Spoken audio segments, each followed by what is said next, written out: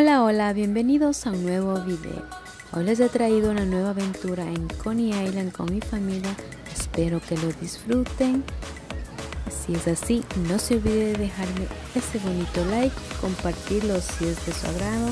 Más información de cómo llegar trenes y carro acá, se los dejaré en la cajita de información.